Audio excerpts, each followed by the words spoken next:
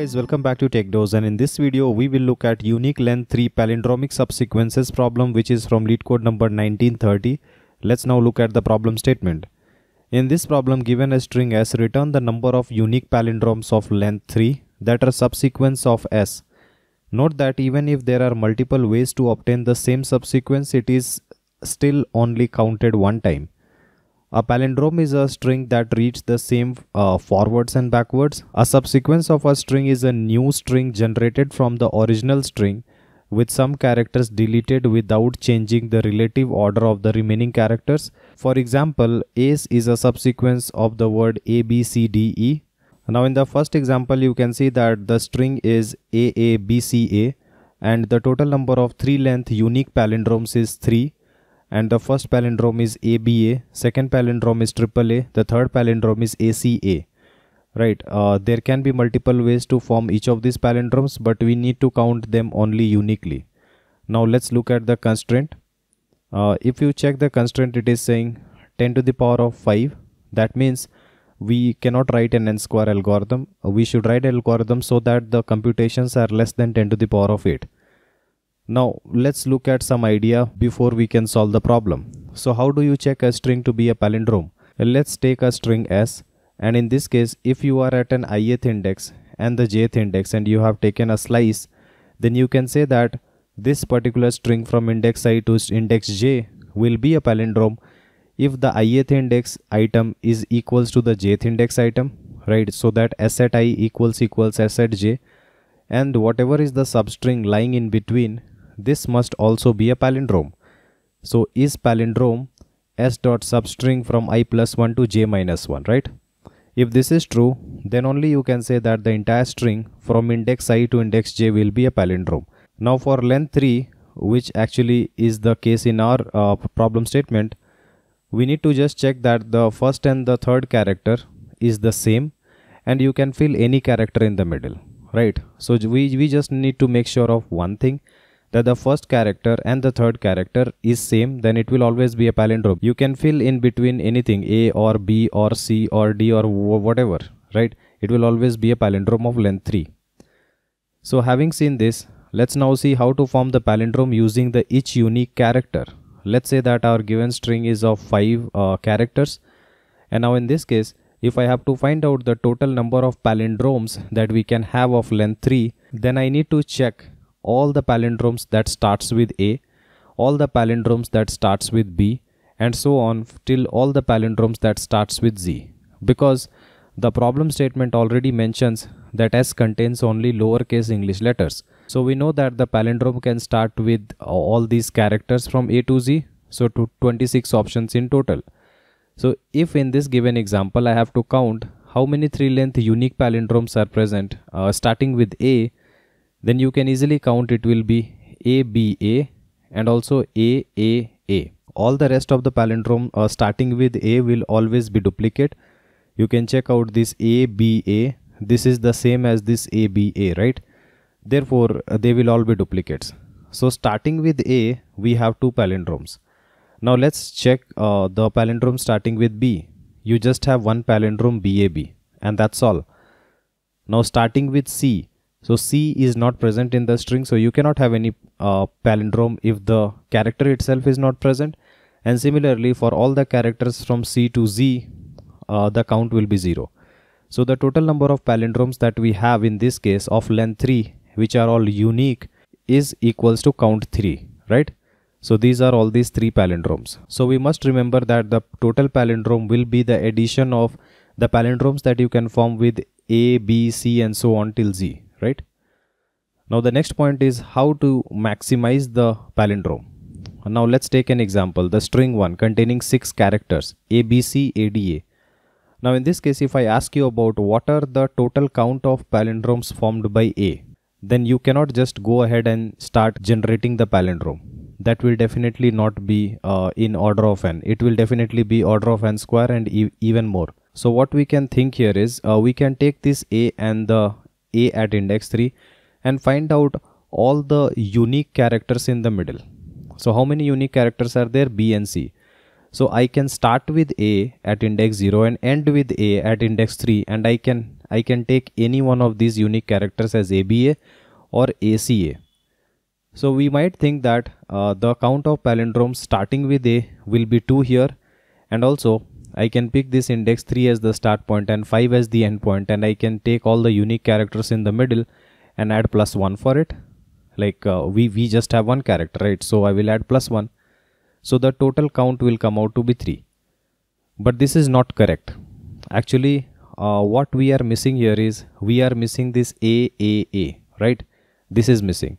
So in order to compensate for that, what we need to do is we do not just randomly pick any pair, but we will always be picking the first occurrence of this character A and the last occurrence of this character A. Because A can also contribute in the middle to form a three length palindrome, right? So just consider the first uh, A and the last A and uh, in in between whatever characters are present you just make a count of unique characters that is equals to 4 here b c a d are all unique characters so now a's total contribution will be 4 palindromes of length 3 you can make a b a.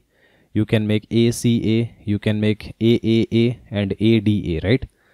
So if you pick the start point to be 0 and the end point to be 5 the palindrome count will come out to be 4 okay so it is greedily always optimal to take the first occurrence of the unique character and the last occurrence of the unique character we will not bother about any more occurrences in the middle because everything will be counted if I take just the first and the last right now if I take the second string so in this case I have seven characters A B C A B D now if I ask you about count the uh, total number of palindromes which are given by B which starts with B. So in this case with the same logic I will take the leftmost B and the rightmost B. What are the indices 1 and 6? How many unique characters are occurring in between?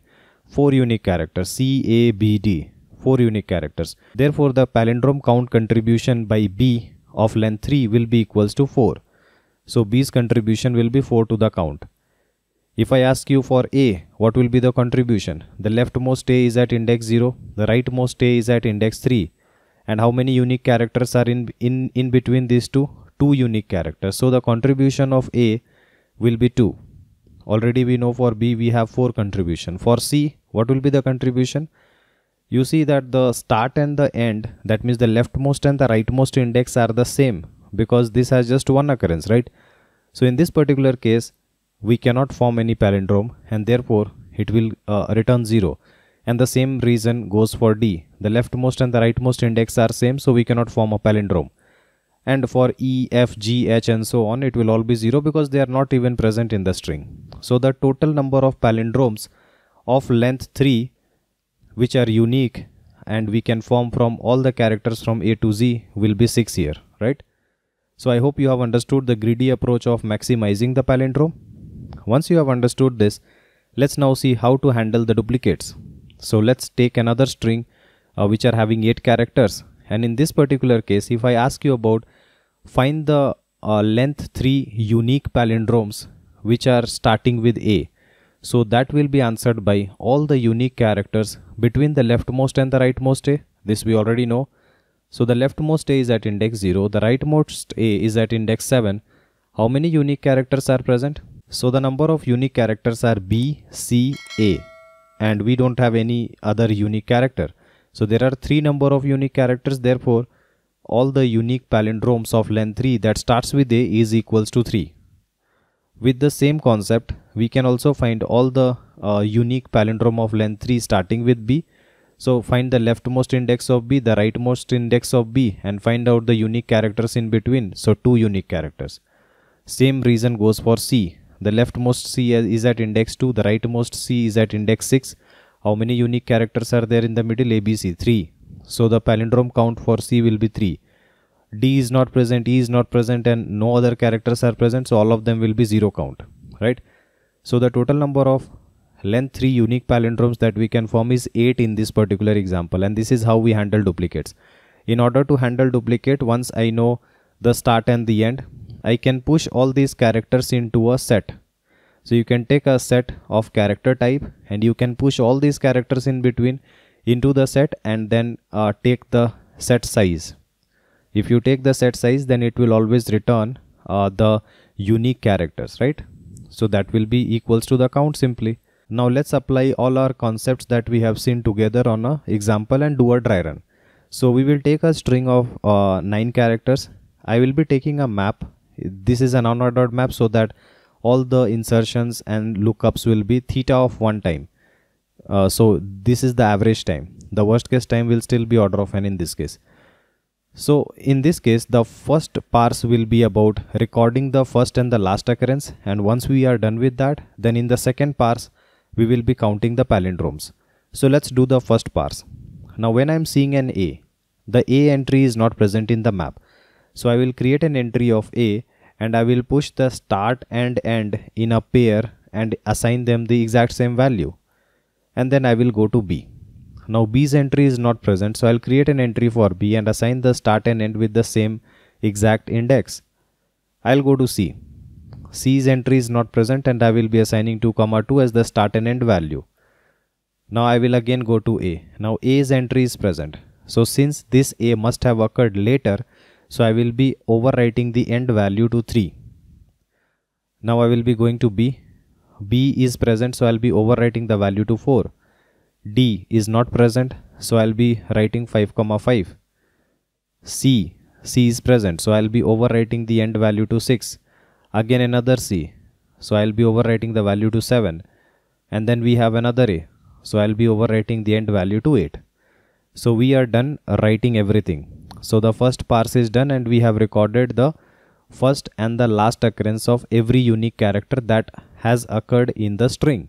Now I will be doing our second parse but this parse will be done on all the unique characters in order to find out the palindrome count contribution by each of the unique characters. So if I see this A, then A's uh, start and end points are different, right? So this means that it can form valid palindromes so A is starting at 0 and ending at 8. Then I need to find out the count of all the unique characters from 1 to 7. That means 0 plus 1 to 8 minus 1. So how to find this? You can find this by pushing all this into a set. So if you uh, push all this into a set B comma C comma A comma D these will be the four unique characters that you will find. So the set size will be returning 4 Therefore, our count will be initially 0 and the 4 will be added and our count will become 4. Now I will be going uh, for the next unique character which is B. Now B starting at 1 and ending at 4. So if you find out all the unique characters between 1 and 4 it will be CA and the set size will give you 2. So that is why 2 will be added and this will become 6. For C it is starting at 2 and ending at uh, 7.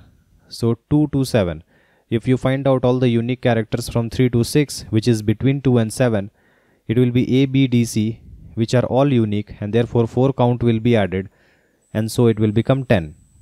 Now we go to D. The start and the end point is same. This means this is the same character and it cannot contribute to the palindrome.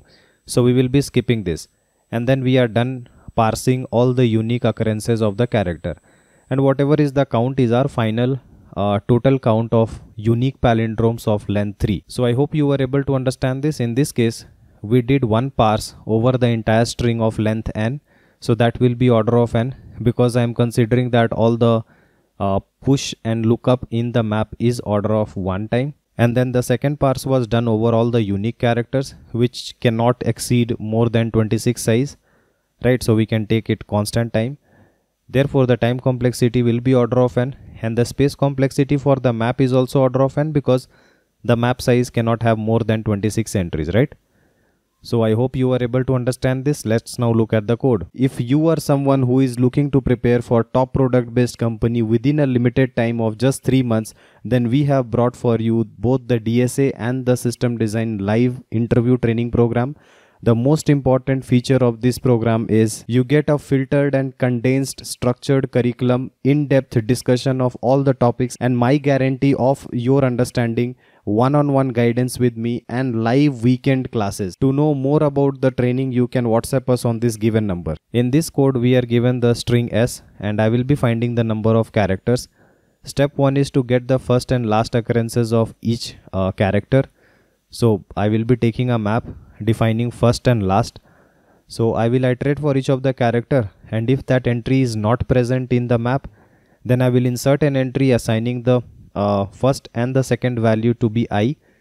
That means let's say if character c was not present then it will be in the key part and the value part will be having the index i comma i if this is the first entry right? And if it is not the first entry but it has already occurred then only the second value will be updated to the new index. Because the first value is for the first occurrence and the second value is for the last occurrence right? So that is why we will just be overwriting the second value. Once we are done recording all the first and the last occurrences, then in step 2 we will be finding all the unique elements count in the range. So I will be going through the entire map one by one and check out the entry and find out all the unique uh, characters from i plus 1 to j minus 1 all the unique characters and we can actually push all those characters into a unordered set and get the size of it so that will be added into our count of palindrome and finally we will be returning the count of palindrome as our answer. So I hope you were able to understand this. If you still have any doubt then feel free to comment below and I'll try to help you as soon as possible. Like and share our video and subscribe to our channel in order to watch more of these programming videos. See you guys in the next video. Thank you.